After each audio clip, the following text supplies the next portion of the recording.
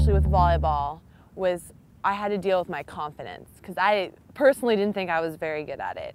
And so for me, my parents were big with helping me achieve my goals.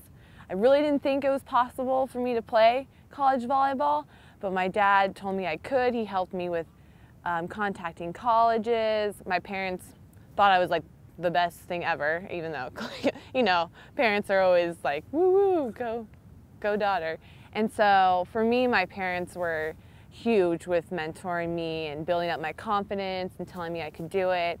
And then my coaches throughout growing up always believed in me, always told me that, you know, you have so much potential, keep practicing, keep working at it, like you're going to be a great player one day.